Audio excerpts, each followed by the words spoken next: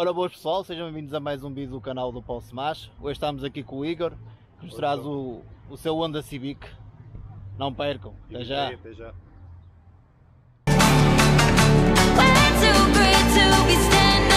They ain't never gonna stop us, stop us Fly at 'em like choppers, choppers Better cook those risks, cold blood in my fists We fire starters, starters uh, One out of a million will reach those heights Always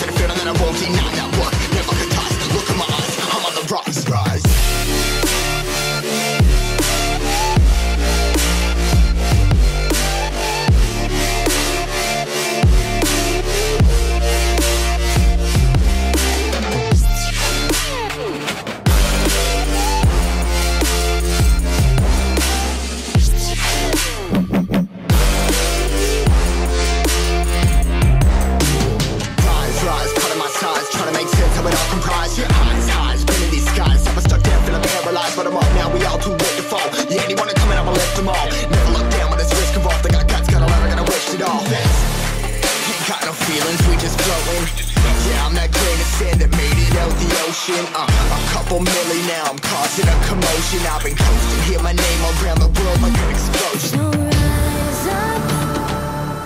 Keeps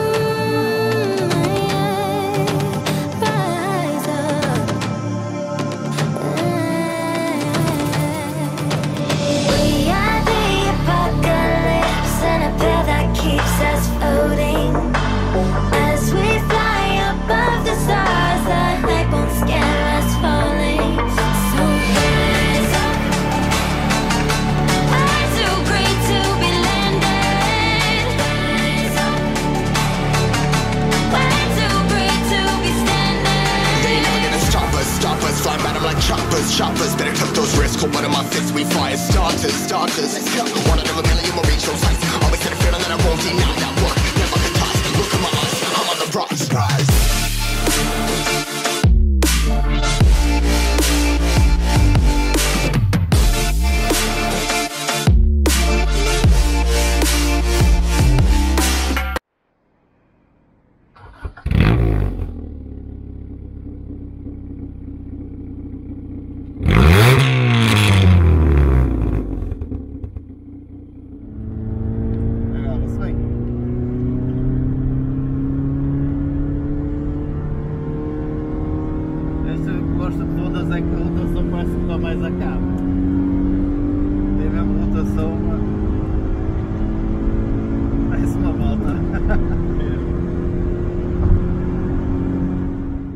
Boas pessoal, sejam bem-vindos a mais um vídeo do canal do Paulo Smash. Hoje estamos aqui com o Igor. Qual é o carro que nos trazes, Igor? Civic EF, neste caso é um ED, sedã de 89, 1400 dual carbs. Tipo, quem te conhece sabe que isto teu carro é a tua princesa, não é? Tens É, um amor é. por este carro. Isso é. É alguma coisa específica ou gostaste sempre do carro? Ah, pá, é, um pouco, é um pouco tudo. Foi, o primeiro, foi assim o primeiro carro que tive e foi ah, assim a minha primeira grande paixão a nível de automóveis. Foi este carro que me fez despertar o interesse do mundo automóvel. Então, pronto, até hoje foi sempre, é uma bola de neve. Uma pessoa vai gostando cada vez mais, mais e mais. Já tens o carro há muito tempo? Este em específico tenho, vai fazer 4 anos. Eh, já tive um antes deste, que, que foi literalmente o meu primeiro carro, que era um Civic EF também, eh, já era de 91, já não fase 2, de 87 a 89 é um fase 1, de Este é de 89. este é de 89 é um fase 1, de, 80, de 90 até 91, quase a chegar a 92, são fase 2. E na altura, pronto, o meu, meu interesse era comprar um Civic EF americano, uh, sedã, e uh, coincidência do Catano, surgiu para venda aqui em Gondomar na altura. Nacional, não é? Temos É. nacional. E este aqui é nacional, mas o primeiro que eu tive era importado da América. Ah, este é o teu segundo carro, igual. Sim, isso é o meu segundo carro igual. Porque opá, na altura eu comprei o outro, já sabia que ele precisava de uma série de cenas, o carro estava estava com motor completamente desgraçado, já tinha para cima meio milhão de quilómetros, num D15, os americanos são 1500, com o mesmo motor do ZG4 e vou fazer rally aqui. E eu eh, pronto, opá, na altura por infelicidades da vida tive que vender o carro e eh, e pronto, e acabei por não comprar mais nenhum EF durante dois anos e meio mais ou menos. Foi quando surgiu o EK que tive, depois na altura também surgiu o Golf GTI que tive. Prontos. eh, surgiu a oportunidade de comprar outro, até foi numa pé de conversa com o meu pai.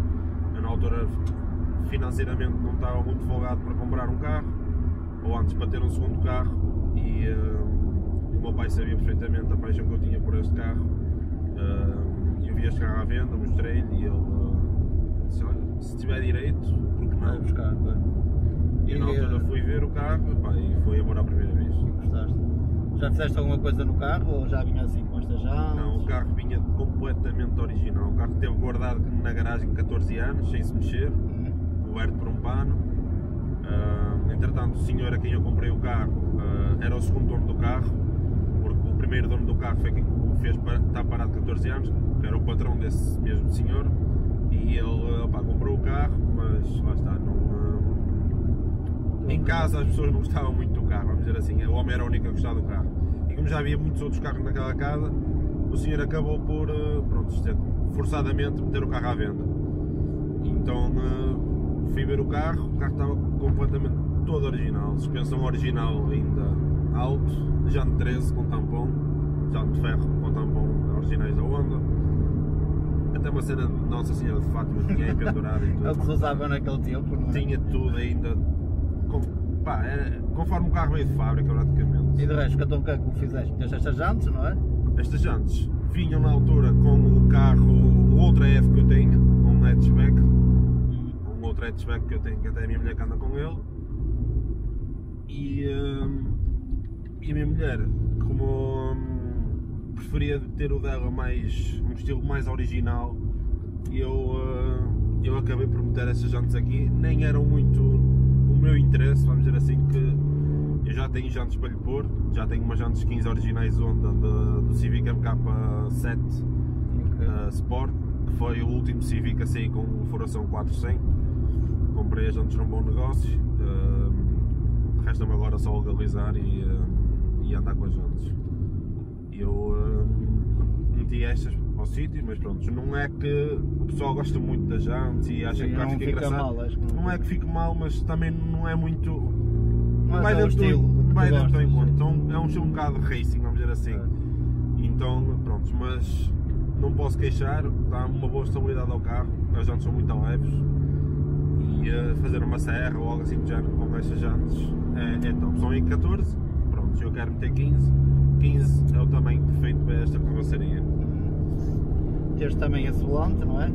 Sim, este volante que meti agora recentemente, eu sempre andei com o volante eh, de CRX, que era o que eu tinha neste carro, também era do meu hatchback, o volante CRX, Eh, este aqui era apenas o volante de dois braços original Honda e eh, pronto, a minha mulher também preferiu esse na altura, eu também preferi o de CRX, meti o de CRX e depois eh, ofereceram este volante, opa, meti numa de também é um volante que vai, vai sair se calhar até ao fim do ano para trocar por um Mugen.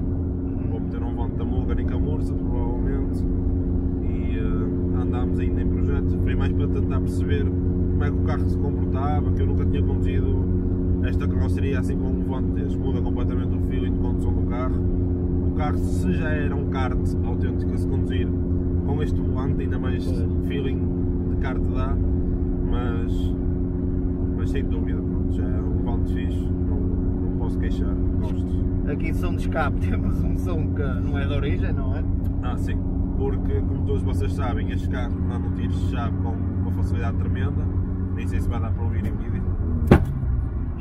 Mesmo, dá mesmo valeu. E, e este aqui foi um menino à beira dos que às vezes ele manda se estiver aí muito tempo em eh, altas rotações e cada tiro de chave que manda, como podeis imaginar, é mais um furo que aparece na linha de escape. Eh, ao fim de 3, 4 meses de, de- de ter o carro, eh, num, num corte de chave, mandei um corte, do, tanto o carro ia andar, mandei o tiro e depois era pó, pronto, eu pronto, já, Já foi. já foi a panela à vida, foi logo a primeira coisa que eu fiz fora. Tirei fora, foi a panela, tirei a panela fora, soldei uns tubos, ficou. Entretanto, a panela, eh, este carro gasta dois silenciadores, ou duas panelas muito pequenas, como vocês queiram chamar, eh, literalmente aqui debaixo onde nós estamos, são as duas atrás uma da outra.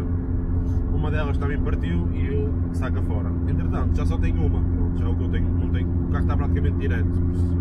é o que é. Como é uma linha relativamente fina, é de origem, não se nota muito barulho. Queres pôr uma linha, não é? Queres pôr linha direta? Sim, sim, sim. Eu vou meter uma linha com uma panela, provavelmente a meio, Hum, para não porque- fazer muito barulho. Pá, mais ou menos, vai sempre fazer um bocado de barulho, que a linha vai ser, vai ser toda em inox, vou ter coletores de inox também, vai sempre fazer uma, um bocado de barulho, mas é, é, é muito menor que isto, provavelmente, ou não, não sei. Depois Ah, depois vê-se. vê. o barulho é um bocado irrelevante, porque eu, eu não ando carro no dia a dia, pessoal. Eu não ando carro no dia a dia, já, já passou a era de andar com ele no dia a dia. Já passou a era de andar com carro no dia a dia, por isso agora quando sai com ele é para ir fazer umas brincadeiras ou um evento ou assim, já nem me preocupo tanto se vai fazer muito barulho, se não vai fazer Claro. muito barulho. Essa era já passou. Do motor, o carro está stock, é? Não fizeste nada no motor. Sim, a nível de periféricos e tudo mais está tudo conforme veio de origem, não mexi absolutamente nada. Uh, simplesmente o carro, podes imaginar, tantos anos parado, os carburadores estavam completamente colados, o carro nem se conseguia manter ao rondinho, ele ficava muito acelerado, ele ficava muito baixa rotação, tipo 400 rotações, 500 no máximo.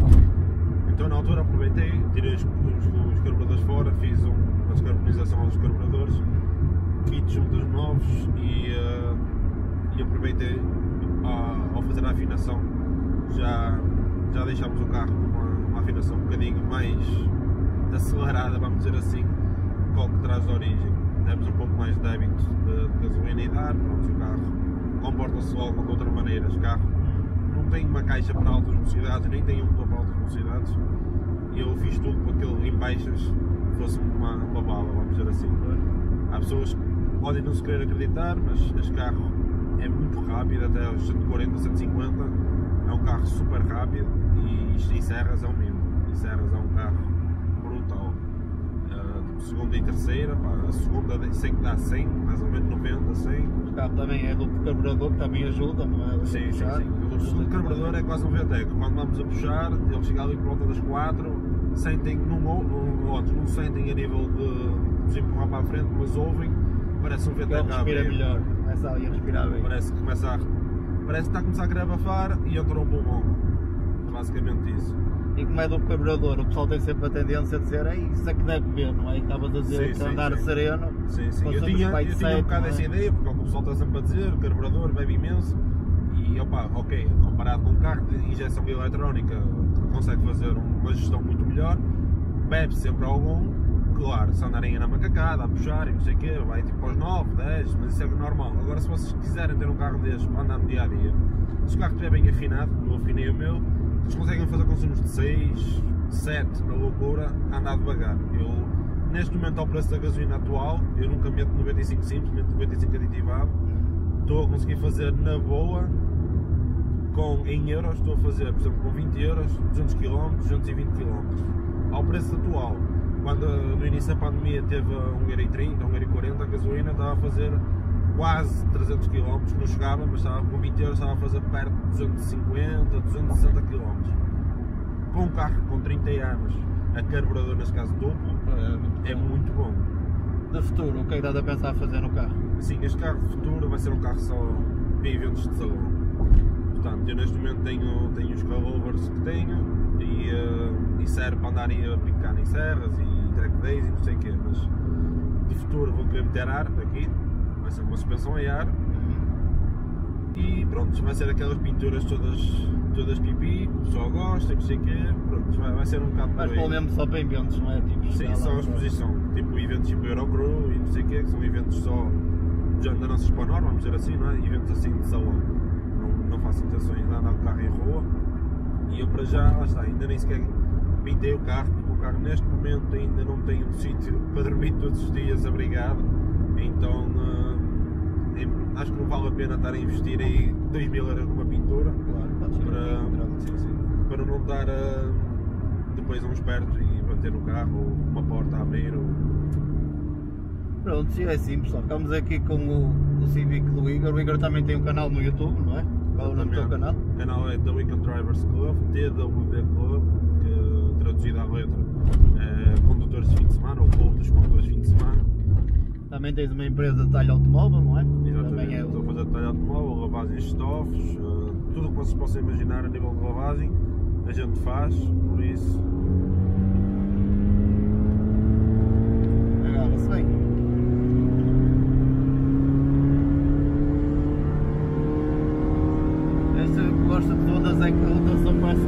alinhado. Tem mesmo rotação. mano. Parece uma moto.